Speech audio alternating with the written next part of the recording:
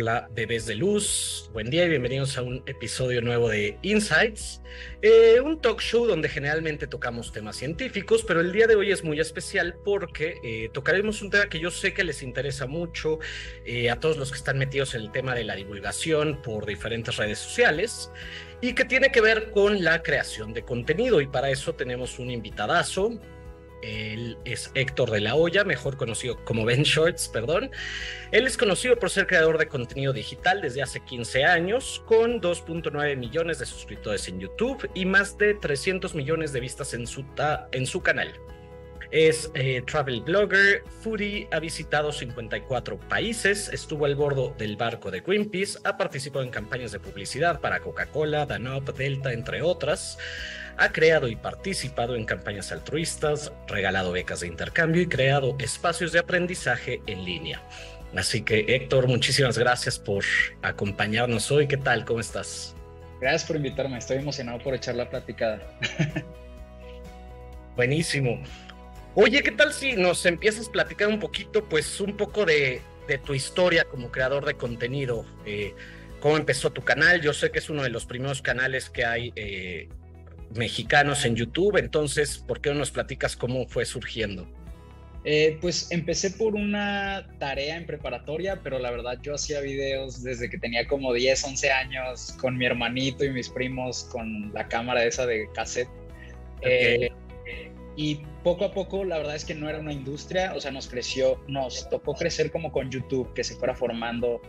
Esto tardó como 3, 4 años en que se volviera un trabajo, entonces al principio era por mera diversión, no había como este tipo de presión que creo que hay ahora. Eh, con el tema de los números o con el tema de los clientes o la percepción que tiene la gente de nosotros. Entonces, como que, no sé, nos acostumbramos a hacerlo por diversión y llegamos ahí como un lugar para expresarnos y crear. Ok. Eh, ¿Cuáles eran los primeros, o sea, cómo era el primer tipo de contenido que tú hacías cuando pues estaba como la situación de esta manera que nos platicas? Eh, era grabar cositas que te encontrabas de que amigos bailando y eso. No había nadie subiendo nada a internet en formato de video, entonces hasta esas cosas funcionaban. Luego después, eh, lo primerito fue el formato de blog que era hablar a la cámara y era algo tan extraño para todo el mundo, de que qué haces en tu cuarto hablando solo. Y no sé, como ver hacia atrás y ahorita cualquier persona agarra su celular y con una facilidad graba un story, eh, platicando lo que sea que esté haciendo y, ya cualquier persona, o sea, no importa que no se dedique a redes sociales, eh, creo que... Eh, también el tema de la pandemia impulsó a que la gente se tuviera que volver un poco más cómoda con esto. Entonces, el, primer formato que funcionó, porque antes quería hacer sketches y cosas así, pero me di cuenta que la gente reaccionó mucho más cuando hablaba directo a la cámara y platicaba algo, porque la gente estaba acostumbrado a algo mucho más estructurado y una producción y que hubiera un guion y aquí era como, ¿qué hace este vato platicándole a la cámara? ¿Qué hizo en su día? Que es una cosa súper normal, que dijo que fue a la escuela y que fue al súper y se quejó de una película que no le gustó y ya. Claro, sí, pero pues como dices, no había como nada de esto y yo creo que obviamente si la gente no está acostumbrada a ello, pues era súper innovador para ciertos grupos de personas, me imagino. Claro, sí, pues tanto como para los consumidores no había un contenido así, pero también para la gente que ya estaba creando en las en los medios tradicionales también era un shock de ala, nosotros no sé, cobramos tanto por hacer un video y este pelado está en su cuarto y lo ve un buen de gente, pero no, no tiene como tal vez esta educación tradicional de comunicación, etcétera, ¿no? Claro. ¿Cuándo fue que tú ya empezaste a, tomar como los temas, pues con los que ya todos te conocemos, el, el tema de viajes, el tema de comida? Eh, fue, iba empezando, la verdad es que no, no era como lo principal, pero cuando me fui a intercambio, que fue hace como 10 años, eh, era parte de mi día a día mostrar que pues estaba en una ciudad que no conocía y para mí era todo nuevo ir al súper y solo mostrar de, ay, acá el atún viene con este aceite en vez del que hay en México, etcétera. Eh, pero era como el día a día y poco a poco empecé con lo de con lo de viajes, lo de la comida, la verdad, yo creo que tiene menos, como unos cuatro o cinco años. Eh, llegué a experimentar antes cuando iba empezando con algo de cocina, pero la verdad es que de que me metí a full a probar menús o a experimentar cocinando, que nada me sale al 100, pero está divertido el proceso, yo creo que unos 4 o 5 años. Ok, perfecto. Oye, bueno, ya entrando a lo mejor eh, más a, tema de, de, la creación de contenido, quisiera ver si, a ver, si a lo mejor empezando de forma general, eh, nos pudieras decir algunos tips generales para la creación de, contenido encaminado a la divulgación. Eh, te, comentaba que, bueno, la mayoría de las, de las personas que hemos armado como este, eh, esta comunidad, pues les interesa la parte de la divulgación. Eh, entonces, ¿qué nos puedes decir al respecto? Ok, creo que algo muy grande que he notado de repente con el contenido de este tipo que me aparece es que no, tú como creador de contenido que lo eres al subir lo que sea, aunque te dediques a cosas científicas, no puedes estar peleado con que la gente prefiere el entretenimiento. O sea, estás en una plataforma donde, pues sí, estás compitiendo contra gatitos, pero no puedes hacer menos a tu público porque el algoritmo solo se va a encargar de llevar a quien necesita lo que tú haces y a quien le interesa lo que tú haces. Entonces creo que eso es como lo principal, porque a veces, pues no sé, creo que nos puede pasar a todos que dices, ay, es que la gente prefiere ver eh, chisme, videos de chismes o prefiere ver este, un video de reggaetón o lo que sea, ¿no? Pero pues es obvio, porque la, las redes sociales y en, en general el entretenimiento se ha enfocado para eso. Ahora es como una herramienta para educar también, pero pues la gente normal no viene del trabajo, la gente normal viene de estudiar y cuando abres, cuando eh, empieza a usar su celular, normalmente quieren despejarse, pero pues creo que se trata de volverlo digerible y cómo, cómo puedo fusionar la educación o la divulgación con con el entretenimiento. Claro, eso me parece súper, súper bueno de, mencionar porque sí, evidente, eh, efectivamente la gente pues muchas veces busca consumir entretenimiento y yo creo que lo he hecho así por años y por medios y por plataformas distintas, o sea, desde libros, la televisión y, sí, sí pienso que eso es algo con lo que hay que no solo lidiar, sino pues uno tiene que saber que, que eso va a suceder. Claro, y digo, no, tampoco es como un problema, no es lidiar, porque pues si nos ponemos a pensar, toda la historia de la humanidad ha sido contada por entretenimiento, o sea, lo que sabemos de historia y ciencia, lo que entendemos la mayoría que no estamos ahí metiendo la mano en un laboratorio o lo que sea, no sé, eh, lo sabemos por historias por alguien que, que sí escribió un guion, aunque tenga la forma del libro, aunque tenga la forma de una obra de teatro, eh, aunque tenga la forma de un TikTok, o sea, todo nos llega por la manera en la que nos están contando una historia, o sea, es una historia de fulanito hizo esto y se enfermó y luego le pasó esto, pero pasó esto y ahora se curó. Entonces es como, al final es una historia corta y y también, pues si no puedes decir el nombre de un paciente, pues estás haciendo ficción, aunque no lo creas, ¿no? Contando la historia de fulanito. Sí, sí, sí, totalmente. Yo luego me, a mí me cuesta mucho trabajo como compaginar la parte de tratar de ser preciso, pero claro, al mismo tiempo que no los pierda en tres segundos porque ya no entienden nada de lo que estoy diciendo. Claro. Y eso la verdad es que luego sí es como muy complicado y, yo creo que precisamente el hacerlo a través como de esto, se ha vuelto como muy famoso el storytelling, ¿no? A través de, una herramienta a lo mejor ya un poquito más estructurada, pues puede llegar eh, de manera más amena a los oídos de los demás. Claro, creo que es como el traducir, o sea, no, no tiene que ser como tanto entretenimiento porque pues al divulgar estamos resolviendo un problema, ¿no? Entonces, no sé, a mí me tocó vivirlo desde chiquito porque como mis papás son doctores, eh, el que te expliquen las cosas hasta que entienda un niño. Entonces, ¿cómo puedo hacer que a quien le salga este TikTok me entienda, aunque no se dedique a lo que yo me dedico, que es pues, la meta que tenemos todos, ¿no? Llegar a un público nuevo, que le pueda interesar a gente nueva, porque luego a veces, eh, no quiero decir complicando, pero siendo tan específicos o con el tipo de palabras que llegamos a usar que solo es entre colegas, creo que eh, pues nos, vamos a perder de un buen de gente y que no es la meta. Claro. Y hablando de los temas que, que, tocabas un poquito de eso, ¿cuáles consideras de acuerdo a tu experiencia que tú conoces también pues a muchos otros creadores de contenido y estás como muy familiarizado con las métricas y todo esto, eh, ¿qué temas has notado que tienen como muy buena acogida en el público en cuanto a, sí, en cuanto a temas a lo mejor científicos, culturales, todo esto? Pues creo que todo, o sea, en cuanto a lo científico, yo creo que todo se trata de cómo lo cuentan. Cuando tienen, cuando tienes como un caso en específico y la verdad también la magia de la edición puede hacer que cualquier cosa se vuelva interesante, ¿no? Eh, entonces la música que usas de fondo, aunque sea una cosa normal para ti, si tú decides, ¿sabes qué? Voy a empezar esto con una pregunta. El tema que sea, voy a empezar con una pregunta y durante el contenido te voy a enseñar a cómo resolverla o este problema que tienes para cuando acabe este TikTok ya vas a saber cómo resolverlo. Eh, que la gente lo que menos tiene es tiempo. Entonces yo creo que es, pues no sé, a todos nos ha pasado cuando consumimos ahora, desgraciadamente, solo tenemos tres segundos para convencer a alguien de que esto les va a gustar o no. Entonces estamos compitiendo contra eh, el tiempo y lo más importante es que los primeros tres, cuatro segundos de tu contenido llamen la atención.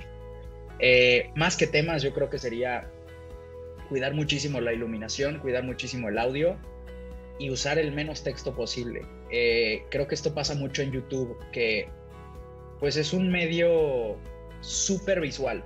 A veces nos preocupamos mucho por el título o por el video en sí, pero se nos olvida que la gente no sabe qué hay detrás de esa imagen, de la foto. Entonces a veces la foto es mucho más importante que el video la foto que usas de portada, yo creo que eso es lo clave, especialmente en YouTube y ahora en Instagram con Reels. Creo que sin importar el tema es una imagen que no tenga texto, porque, bueno, específicamente en YouTube, pues ya, ya puedes leer de qué se trata en el título. Entonces, ¿para qué ponerlo en la imagen dos veces? Y aparte más chiquito, porque pues no se puede hacer más grande, ¿no? Claro. Creo que esa es una de las principales, como ver la plataforma como consumidores primero antes de creadores. yo le daría clic a esto. Mm, porque muchas, la verdad, la mayoría de las veces que llegamos a consumir algo es porque lo estamos buscando, pero tenemos que observar cómo funciona nuestro cerebro en cámara lenta de, ah, chis, ¿por qué le di clic a esto? ¿Qué, qué pasó ahí? ¿Cuál fue el momento clave? ¿Cuál fue el color? ¿Cuál fue el, lo que, la duración? Eh, y tenemos que hacer como nuestro propio experimento de qué es lo que me entretiene, qué me llama la atención, porque a lo mejor estás buscando algo que sí es de tu nicho, que normalmente consumes, pero la ventaja que tenemos es que hay tanto contenido que sí podemos hacer ese experimento de, a ver, de todos estos resultados, ¿a cuál le di clic y por qué? Sí, sí, sí, totalmente. Yo estaba pensando, porque sí puedes tú perfectamente, a lo mejor al hacer tu research, eh, no sé, pues pones el tema, a lo mejor de qué va, eh, de lo que vas a hablar, pues tal cual irte a ver como los, eh, las miniaturas, se llaman los thumbnails, y ver como pues, tal cual cuál te llamó y por qué, ¿no? Justo lo que, lo que nos dices. Claro, y cuál es el título que más va a llamar. Igual en el título no tienes que ser tan específico con cuál es el método que estás utilizando, sino más bien cuál es la solución que estás dando o con qué se va a identificar más gente. Tal vez es, algo súper complejo, pero lo que necesita escuchar a alguien normal es ¿por qué te sientes solo? Y ese es el problema que estás resolviendo, ¿no? Y a veces, pues cuando ves tantas letras, números, capítulos, este, y de, no sé, toda una bibliografía en el título, dices, híjole, no sé, no le voy a entender. claro. Sí, sí, sí, totalmente. Oye, ¿cómo es, cómo es diferente el, contenido, las audiencias en las diferentes redes? Porque a lo mejor una persona que le funciona mucho Instagram, no sé, y pues no se ha animado a abrir su canal de YouTube y quiere irse a YouTube. Eh, yo realmente hago muy poco de esto, pero sí he visto que es muy diferente el tipo de personas que van, el tipo de manera de manejarlo. Claro, eh, ¿te refieres como en cuanto a comentarios y cómo consumen o cómo crear? Eh, bueno, me refería a cómo consumen, pero pensando también es interesante eh, en cuanto a la creación. Pues creo que lo principal es que en TikTok no tienes control de quién te consume. Entonces el algoritmo va a decidir qué va a pasar. No puede que un video tuyo que funcione le vaya a aparecer a alguien que nunca buscas, nunca busca temas del tipo que tú creas esa es la ventaja. Instagram la verdad ahorita no sé qué está pasando. Eh, creo que es mucho más amable con los textos, o al menos era antes, que puedes crear un carrusel y la que yo creo que ahí sí puedes, si consigues que te funcione un contenido, es más fácil que la gente eh, sigas apareciendo y te siga consumiendo y hay como un poco más de lealtad en Instagram. Pero pues YouTube yo creo que es el más amable con, con la constancia. Eh, que puedas poner un horario como si de, como creador. Como creador, exacto. Y también eh, tú como consumes, pues te vas acomodando a tus hábitos. Es que es muy diferente a los demás. O sea, no sé, si eres fan de un podcast que está en YouTube, sabes qué día se sube y a qué hora, y es obviamente también lo recomendado hacer. O sea, desde siempre YouTube dice, si tú creas contenido, ponle un horario, ponle un día a la semana que es complicado si no te dedicas full time a eso, ¿no? Como crear ese compromiso. Pero yo creo que YouTube es el más amable, que además es mucho más fácil que tú regreses a ver un video de YouTube, que tú puedas descargar un video de YouTube, que se pueda crear como una biblioteca. Cada canal es como un canal de televisión o como si tú tuvieras tu propio Netflix, ¿no? La gente tiene acceso a todo eso. En cambio, un TikTok es un poco más difícil que regreses para aprender algo o recordar algo o reaprender algo Em, también, pues YouTube tiene la ventaja de que pues va de la mano con Google, entonces como buscador se puede ser tan específico como para encontrar uno de esos títulos complejos, pero también vago como para que tres palabras funcionen y te puedan encontrar y tengan tu nombre de usuario. Claro. Em, entonces yo creo que YouTube es mucho más amable como a largo plazo y los otros dos a corto plazo pues eh, te puede funcionar un solo contenido que dura un minuto y hasta puede impulsar tu carrera entera como creador de contenido, ¿no? Claro.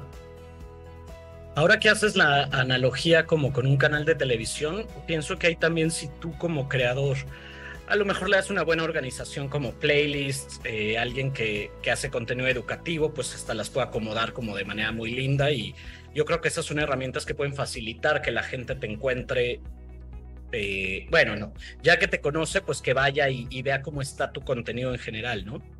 Claro, ¿no? Y también con las playlists es una herramienta para que te encuentren, porque si buscan X palabras y tu playlist tiene ese título, pues también le vas a aparecer hasta arriba. Entonces, justo, no sé, como yo con los videos de viajes, tengo una playlist por cada país que he visitado, o tengo una playlist de cuando solo visito el supermercado, entonces puedes serializar las cosas, que también es una ventaja que tiene YouTube. También puedes hacer playlist en TikTok, pero la verdad no veo a la gente consumiendo una playlist en sí. Pero ahora que lo mencionas, yo creo que por el lado del entretenimiento, pero por el lado de la educación sí puedes serializar en TikTok y te puede funcionar muy bien. Ok. Tiene muchísimo que dejé TikTok como de consumirlo comúnmente, pero, pero voy a investigar cómo se puede ahí, cómo se podría aplicar esto que dices. Sí, creo que, o sea, cuando te metes en un tema, eh, sobre todo, sí, en general, lo educativo yo creo que es algo, una manera muy buena de serializar. Y si le pones de título qué problema estás resolviendo o de qué tema estás hablando, pues te chutas todos los TikToks de esa playlist, ¿no? Claro. Sí, eso, eso está muy bueno. Hoy en cuanto al, al contenido y eh, mencionas la importancia, sobre todo que, que, YouTube, por ejemplo, premia mucho la constancia. Eh, ¿cómo tú recomendarías hacer la planeación de contenido? Porque creo que un gran error es no planearlo. Sí, pues mira, la verdad es que no, no, podemos confiar enteramente en cómo va a seguir funcionando una plataforma para siempre. O sea, creo que lo mejor es que sí, si te, bueno, creo que es un problema de alguien que se dedica 100% a redes sociales, eh, pero es como puedes planear muchísimo alrededor de cómo se comporta una plataforma, pero en seis meses va a ser otra completamente diferente porque ahora ya le metieron stories y ahora le metieron esto y el otro y ahora tienes que hacer videos verticales y la fregada, ¿no? Entonces, creo que la planeación también debe ser más por el lado de lo que tú quieres hacer y de qué temas quieres tocar. Mm, y sí dar espacio para dos, tres modas o analizar un tema general o muy popular desde tu enfoque. Creo que eso es lo que más funciona. ¿Cómo puedo analizar, no sé, desde mi enfoque o de mis conocimientos lo que pasó en una película de Marvel? Eh, entonces creo que esa es como la manera más sencilla de traducir y cómo puedes subirte a ciertas olas, pero hay olas que solo las vas a ver pasar y dices, esto no va conmigo o no me puedo adaptar. Yo creo que es como una carretera. El otro día estaba escuchando un podcast de que lo, puedes ver como una carretera en creador de contenido, que si te sales, la gente se va a enojar y va a decir, pues tú, ¿por qué estás hablando de este tema? Pero conforme pasa el tiempo, la carretera la tienes que ir ampliando para ir abarcando más temas y que la gente no sienta que te saliste de la carretera completamente. Ok, claro. Y yo creo que estaba, ahorita que mencionas eso, estaba pensando, yo creo que muchos de los divulgadores de ciencia que han, pues, que han tenido una gran audiencia, que han ido juntando como ya cierta familia, eh, muchas veces surgen por eso, como por agarrar a partir de un tema que a lo mejor es como muy, eh, como muy polémico en el momento, y pues hablar de ello desde su, desde su perspectiva, ya sea como profesionales, como científicos. Eh, me vino a la mente cuando hablaban de la proteína de barba de regil y todo eso, que bueno, fue todo. Claro. Sí, exacto, porque también es, estás jugando con el buscador, con el algoritmo y no sé, a veces sí es como cuestión de los números, ¿no? si todo el mundo está hablando de esto, todo el mundo lo está buscando, si yo me agarro de esta ola, ahí va. Que claro, también hay que saber cuáles sí, cuáles no, cuáles van a hacer que llegue un montón de gente que solo quiere que hable de esto. Eh, y le van a hacer el fuchi a lo demás que toco. Entonces creo que esa es como la, pues, saber muy bien hacia dónde te puede llevar el algoritmo. Claro. Sí, porque creo que, digo, no creo que pase eh, con un divulgador, pero pues ahorita hay este fenómeno que, pues no sé, un chavito, una chavita que se le hace viral un video y el que se le haga viral va a dictar su futuro. Porque la gente quiere que yo baile, pues voy a bailar, porque si no, no voy a tener vistas. Entonces, pues eso es lo que es como el peligro que corre alguien que, tiene la mira en las vistas y no tanto en quién soy y por qué estoy haciendo lo que hago, ¿no? Claro. Oye, bueno, a lo mejor eso, eso me, me funciona muy bien para preguntarte sobre la importancia de tener a lo mejor tu marca personal en tu... Eh, ay, se me fue la palabra. Bueno, como no dejarla de mirar o tenerla como bien construida, bien fija, justo para que a lo mejor no te de repente te lleve como todo el, toda la ola. Claro, pues creo que es como pensar a largo plazo. O sea, no dejar que ni tu marca personal consuma tu persona, ni que tu contenido consuma tu persona. O sea, siempre pensar primero en la persona y con qué te vas a sentir como tú, antes de que lo que tú mismo creaste y empujaste, pues te haga sentir fuera de lugar en tu propio hogar, por así decirlo, ¿no? Entonces, creo que es como distinguir, hay gente que crea una personalidad y se pone una peluca y yo no soy eso que está en redes. Hay gente que dice, es, tener una personalidad más explosiva va a hacer que más gente le llame la atención, pero luego convives con ellos y nada que ver. Entonces, eh, es como saber con qué te sientes cómodo tú antes que cual, no sé, como cualquier negocio que creo que nunca nos detenemos o no estamos educados para detenernos a ver si lo que todo el mundo quiere y todo lo, lo que todo el mundo está persiguiendo es lo que yo también quiero. Entonces, no sé, lo de la marca personal es como cuando yo iba empezando a crear contenido, era, me voy a inventar un nombre, por eso tengo Ventures, porque no quería que nadie me encontrara. Y ahora todo el mundo es como, ah, no, pues voy a poner mi nombre y mi apellido. Soy Juan Pazurita, o sea, mi nombre entero eh, es como me muevo, ¿no? Que no existía este concepto de marca personal, porque pues las marcas era este, Coca-Cola, McDonald's, ¿no? Eh, entonces cuando estábamos empezando en YouTube no, no existía esto y creo que es algo que también se va se va deformando y también es un fenómeno que vemos como con gente que su marca personal es su vida entera y pues igual es el sacrificio de voy a exponer toda mi vida porque esto es lo que la gente está pidiendo y es lo que siempre va a pedir. Entonces es ver qué sacrificios estás dispuesto a hacer por las vistas y qué vistas estás dispuesto a sacrificar por tu vida, que creo que esa es la pregunta más importante, ¿no? Claro.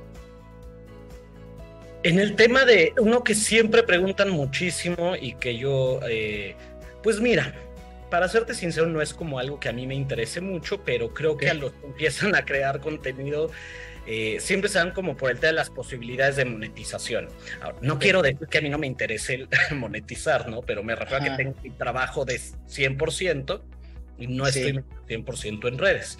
Pero las personas que les interese como empezar desde, sobre todo desde una perspectiva de divulgación, ¿cómo ves tú el panorama? Pues no sé, ¿me podrías comentar como algún caso de éxito para saber, para poder platicar un poco de eso? Porque la verdad es que yo no, no conozco tanto de divulgadores que, que en sí moneticen o no sé. Yo tampoco conozco, este, por eso de repente es como, eh, luego, o cuando me han llegado a invitar a mí es como, ¿qué pienso yo? ¿Qué tan fácil es? Es como, pues yo creo que no se puede, al menos de la pues forma en la que yo lo hago. Claro, creo que lo complicado es eh, por ejemplo, con las marcas, pues ahí está medio complicado, ¿no? Porque estamos hablando como de ciencia y, y cómo me voy a ir yo de la mano con, con un producto eh, o con un servicio, a menos que ya estés involucrando tu vida personal como, como pues tu marca personal de, pues yo me dedico a esto y hablo de esto, pero le recomiendo este jabón, ¿no? Eh, sería un poco como meter las dos cosas pero yo creo que la manera de monetizar que yo veo así directa es eh, las conferencias, ¿no? Eh, los cursos y las conferencias, que yo creo que es como una plataforma mucho más grande por estar en redes y, y, también una persona de nicho pues no necesita los millones de seguidores, sino pues ir, creando comunidad, que yo creo que es lo más importante y ya tú vas decidiendo por qué camino te quieres ir ya con la comunidad que tú creas. Claro. Sí, la verdad es que yo siempre, o sea, era también de lo que, lo que había pensado, porque pues justo, ¿no? Mucho de esa monetización viene pues a través de marcas, más que como tal de tener ahí un número de followers o de suscriptores, ¿no? Claro, digo, obviamente se puede monetizar con las vistas en YouTube y Facebook, que creo que son las dos plataformas ahorita que más conviene, pero también, no sé, igual hay gente que puede experimentar con un Twitch, eh, aprovechando que creó una comunidad, o sea, no todo tiene que ser como con marcas, yo creo que también alguien que tiene una buena charla y puede y decide hacer como en vivos, así es como también se puede crear, no sé, preguntas y respuestas con su comunidad y demás. Pero yo creo que lo principal sería eso, que, que la comunidad solita te va llevando para que tú puedas crear basándote en tus metas. Fíjate que ahorita sí ya me vinieron a la mente algunos ejemplos de personas que lo que están haciendo es eh, tener como esta opción que dio YouTube de suscriptores como con contenido aparte. Claro, sí, exacto. es una buena opción. Sí, y Patreon también, que es como tengo estos suscriptores que tú decides qué darles y basándote en cómo es tu relación con tu comunidad de oigan, pues yo doy una conferencia al mes, yo doy asesoría, yo doy consultoría, o vamos a hacer un evento, etcétera, ¿no? Claro.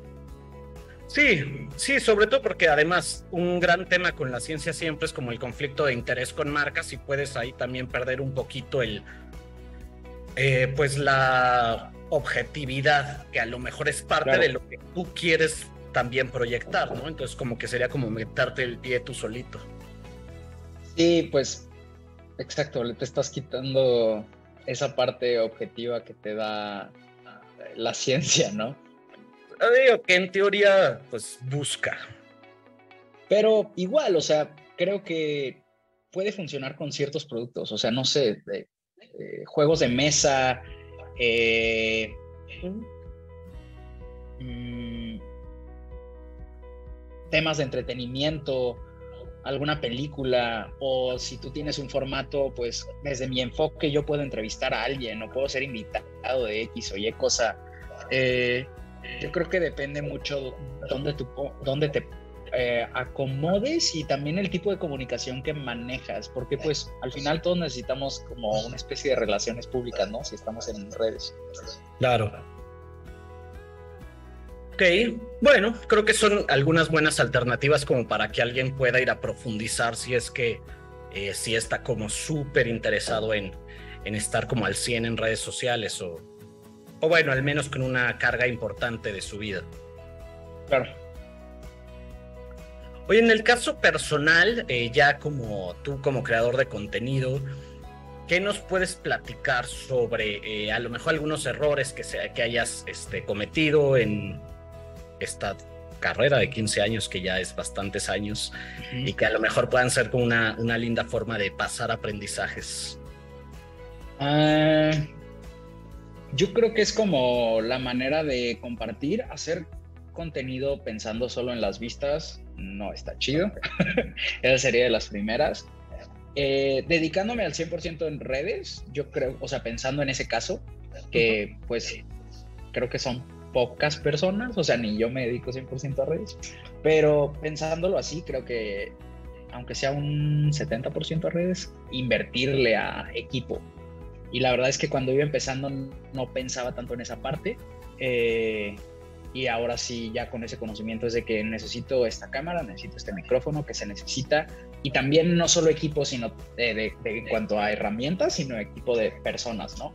Porque no sabes a dónde te puede llevar alguien que tenga conocimientos en otra área, justo lo que mencionábamos de relaciones públicas, comunicaciones, eh, alguien que te esté buscando conferencias, alguien que te esté buscando temas, olas en las que te puedas crear tus temas desde tu enfoque, ¿no? Entonces yo creo que eh, desde ese punto esos son como dos errores que cometí antes. Ok. Y yo creo que también, pues no sé si error, pero esa frustración que sobre los temas que tocas y no y hacia dónde te llevan, pues yo creo que también es como preguntarte más qué quieres tú y si de verdad vale la pena tener esas vistas para el perfil que tú quieras crear, que pues definitivamente de todas formas afecta a tu vida personal, ¿no? Ok. De, de, lo que has dicho, como tener claro un objetivo sobre el alcance y el para qué de tu contenido, ¿no? Sí.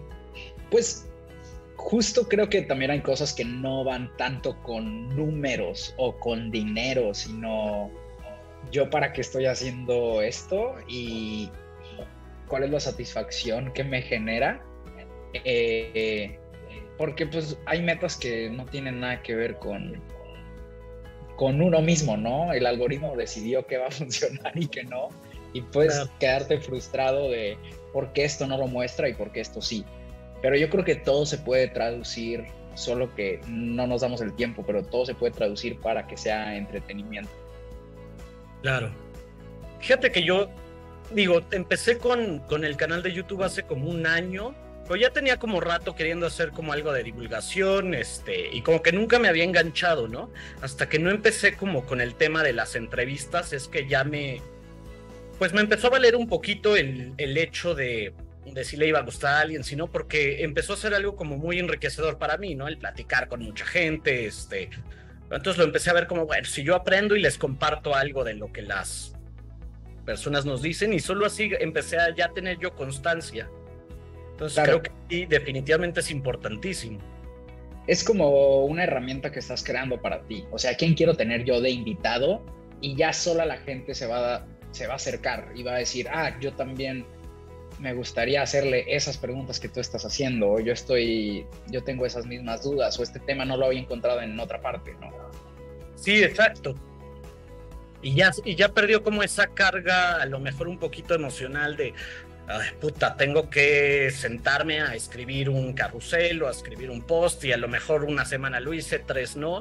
Y, para mí implicó ya cierta constancia que además también pues tiene sus ventajas, ¿no? Claro, y es justo eso que mencionas, de que saber dónde estás, de que, o sea, que todo el mundo está haciendo carruseles, ¿me conviene? O es algo que ni yo quiero hacer y disfruto mucho más las entrevistas, pues entonces me voy a enfocar en hacer las entrevistas, aunque todo el mundo esté haciendo lo de los carruseles, ¿no? Eh, pues sí, justo es eso como del enfoque y la verdad es que nadie sabe cómo nos va a tratar el algoritmo en seis meses y en qué plataforma o si van a inventar una nueva al rato, ¿no? Claro. Sí, sí, sí, pues algo que, que, se vio mucho con TikTok, ¿no? Que de repente salió la gente que lo, o sea, como esa primera forma de algoritmo que tenía, pues era un, una cosa loquísima y que pues cambió mucho la, la forma en la que la gente llegaba a contenido, ¿no? Claro, y creo que justo lo que hablábamos hace rato en cuanto a largo plazo, YouTube ha sido súper amable con eso. O sea, yo me acuerdo que cuando iba empezando con los videos, de que, ¿y qué vas a hacer cuando se acabe YouTube? Y yo de que, pues, no sé, pero ya lleva un buen ratote. Eh, creo que sea, es una plataforma como bastante estable, aunque sí eh, cambia la forma en la que la gente consume y se adapta a la plataforma, que primero nos decían, ahora tienes que hacer videos de tres minutos, ahora de diez, ahora la gente ve, consume de dos horas porque los podcasts empezaron a ponerse de moda de nuevo. Entonces ahora tienes que hacer contenidos largos y ahora tienes que hacer verticales y demás, pero aún así, si eres constante con, con tu canal, pues eh, sigues teniendo como un público interesado en tu nicho, eh, que siento que es como mucho más seguro que depender de, uy, voy a hablar de, no sé, un tema que esté de moda y, qué va a pasar después. Claro. Y yo creo que muchas veces, uh, tú hace rato lo dijiste, ¿no? A lo mejor, pues sí, un divulgador no necesita la millonada de followers. Eh, a lo mejor estás más enfocado en hacer comunidad en, tus nichos, ¿no? Con, con, las, eh, con las personas que te ven, el poder darle seguimiento a sus dudas, a lo que quieren aprender. Claro, creo que es como, he escuchado ya muchas veces que la planeación puede ir como 8-10. Digo 8-2, perdón, para que sean 10, digamos que haces 10 contenidos al mes. Okay. 8 para tu nicho y 2 para alcanzar algo más que vas con un tema más general, ¿no? Eh, o sea, 8 para mí y 2 para ustedes, que consumen otro tipo de cosas, ¿no? Creo que puede ir por ahí y, y puedes seguir como creciendo y alcanzando nuevos públicos, pero respetando tus objetivos. Claro. Y es una forma, digamos, objetiva a priori de establecer hasta dónde te vas, ¿no? Claro, y, y también puedes ir jugando con esos números de que 7-3 o lo que sea, ¿no? Claro. Oye, Héctor, algo que también eh, he visto que es un tema como recurrente. Eh, últimamente ha habido como que algunos, este, controversias en el tema de neurociencias y psicología y entonces como que cuentas como muy de un tema particular, eh, como que han empezado a haber mucho hate. Ok. ¿Qué puedes aconsejarnos sobre el manejar el hate en redes? ¿Y el tipo de cuentas son como cuentas anónimas o cuentas que van como de X tipo de corriente o... de, las cuentas como que, que echan el hate. Sí. No, no son cuentas anónimas, como de gente que a lo mejor este, tiene una, eh, una opinión muy específica sobre un tema particular, el uso de psicofármacos, por ejemplo, ¿no? Y entonces hay, hay, como toda una controversia, controversia, perdón. Eh, pues creo que es como el debate siempre es bueno y puede ayudar a, que eh, puedas reforzar tu punto. Em, porque pues sí, ¿no? o sea, normalmente esperemos estar del lado de la verdad.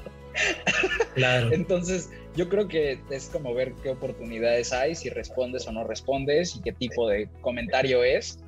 Eh, pero pues el consejo general es ignorarlo. Claro. Eh, y ver de dónde viene ese comentario. Por, digo, no sé, creo que, creo que es como un golpe al ego siempre y, y solo son dos minutitos de mm, mejor no hago nada y se te olvida. Claro. Sí, porque sí he visto ahí eh, compañerillos que sí se, se han agüitado mucho y dejan de subir contenido.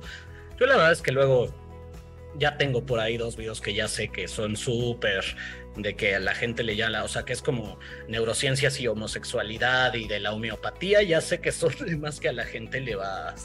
Claro. Puede generar cierto. Sí, pues creo que es como saber qué tipo de persona te está comentando, pero pues también saber si vale la pena saber qué tipo de persona te está comentando. Ay, claro. sí, sí, sí. Total. Perfecto. En cuanto a tú nuevamente, este, de lo que llevas eh, estos años haciendo contenido, como malas experiencias en ese tipo que a lo mejor en algún momento dijeras, ah, bueno, pues a lo mejor no lo manejé tan bien, pero pues ya ahorita estoy mucho más sereno, no sé. Eh, creo que es eso, como responder a los haters y echarle como más leña. creo que es justo ese, ese error y cómo manejas los errores y si de verdad te conviene que todo tu público se entere que una persona no le gustó lo que hiciste. Claro. Bueno, sí, porque además si empiezas a comentar y se hacen más este un hilo ahí, pues obviamente se va a ver mucho más, ¿no? O sea, claro, y también la gente dice, ah, así es como le puedo llamar su atención. claro, sí, sí, sí. Oye, para cambiar un poquito de tema, eh, digo, ya nos, ya nos dijiste algunas cosas que yo creo que pueden ser de mucho valor para las personas que están, eh, pues tanto que ya estén creando contenido de divulgación o que quieran empezar a hacerlo. Eh, y te decía cambiar de, cambiar de tema para que nos platicas un poquito. Tienes un libro. Sí. Ríndete sin fracasar en el intento. Así es. Eh, ¿Qué podemos encontrar ahí? Bueno, pues ya podemos encontrar porque ya lo leí. Gracias. Eh, pues es sobre desaprender eso, esa frase de que el que se rinde no gana, ¿no?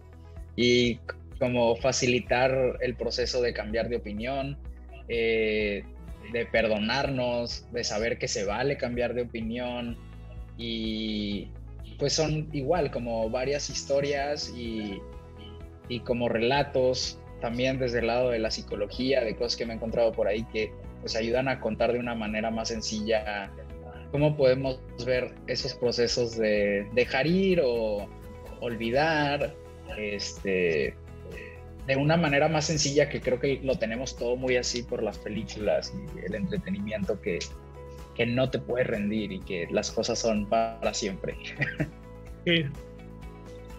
Yo, bueno, algo que creo que es como como un tema eh, que tocas ahí, eh, pero para poner un ejemplo muy específico de cómo, de yo viendo eh, resultados positivos, siguiendo una aproximación así es. Yo antes tenía como que había que terminar un libro a fuerzas, ¿no? O sea, empezaste a leer el libro y hay que acabarlo porque pues así es, ¿no? Y me vas a decir, no, y el tuyo no lo acabé, el primero que dejé a la mitad. No, no, no, no, porque justo eh, como son, además está muy lindo, porque son, como dices, ¿no? Pequeñas eh, como narraciones, ¿no? Entonces está muy amigable y, y uno puede írselo echando. Sí, no, claro. Pero la verdad es que cuando yo dije, oh, pues, pues, no tiene nada de malo dejar un libro a la mitad si no te, pues si no te gusta, si ya sacaste la información que querías, pues tampoco es de a huevo echártelo hasta el final, ¿no? Exacto, si no te está llenando y, y verlo así pues con todos los aspectos de tu vida que no dañen a alguien más. Exacto. Entonces yo les voy a dejar por aquí abajito en la descripción, si a alguien le interesa, que pueda, que pueda descargar o comprar tu libro. Gracias. Eh, y para, no te quiero quitar mucho más tiempo, yo creo que nos, nos platicaste muchas cosas muy útiles. Eh, sí quiero preguntarte del contenido que has hecho, ¿cuál es tu favorito?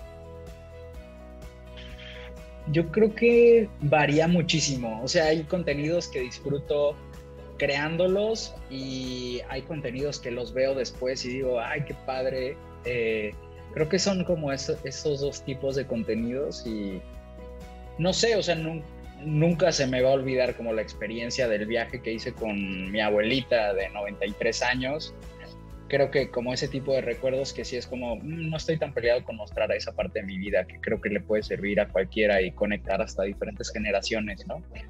Em, y también creo que colaboraciones con buenos amigos o reflexiones que en algún momento a mí me sirvieron, em, no sé, de hace 10 años y que las veo ahorita y digo, ah, con razón hice esto, o ah, necesitaba verlo de nuevo, ¿no? Pero pues creo que es como se va creando un archivo, o sea, ya son como 600, 700 videos y cada uno tiene lo suyo. Em, entonces creo que va más por el lado de que la mayoría de mis videos los veo antes de grabarlos, como qué experiencia me va a generar crearlos. Claro y es que además la, cosa linda que tiene el, formato vlog, pues es que es justamente pues como un álbum de recuerdos, ¿no? O sea, pues sí. son experiencias propias que, que puedes volver a disfrutar y, pues con, pues como tener un álbum de fotos, ¿no? Claro, y qué contenido, o sea, también creo que le puedes digo, ya me hubiera aburrido si hiciera lo mismo durante los 15 años. Entonces, le puedes dar un giro a lo que haces y, y esa es una ventaja. O sea, por ejemplo, ¿de qué me va a servir si tengo a esta persona de invitada en mi contenido? Justo lo que decías hace rato, de voy a, yo lo estoy haciendo por aprender. Eh, también, no sé, por ejemplo, cuando hice un reto de salud física, ah, bueno, pues esto me sirve para crear contenido, pero también está ayudándome en mi vida personal, ¿no? Entonces creo que utilizar también el contenido como una herramienta para nuestra vida personal, creo que también es una ventaja muy chida. ¿Y actualmente en qué estás enfocado? Pues no, estoy súper fragmentado, la verdad, eh, en varios proyectos a la vez. Y pues ahorita me han tocado como varias experiencias, eh, pues como muy diferentes. No sé, el domingo pasado me tocó ir a, a, grabar un programa para Discovery Channel que tiene que ver con comida y de repente me tocan cosas que tienen que ver con viajes.